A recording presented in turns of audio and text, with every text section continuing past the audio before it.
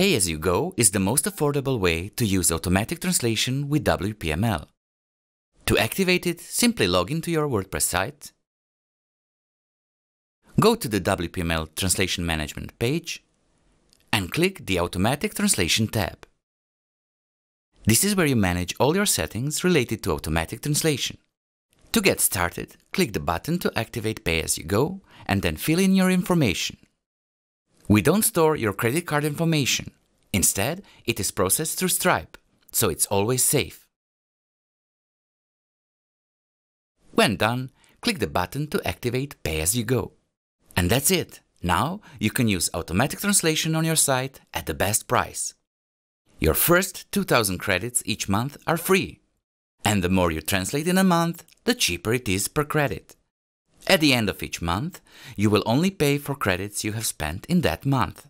If you didn't use any credits, you won't be charged at all.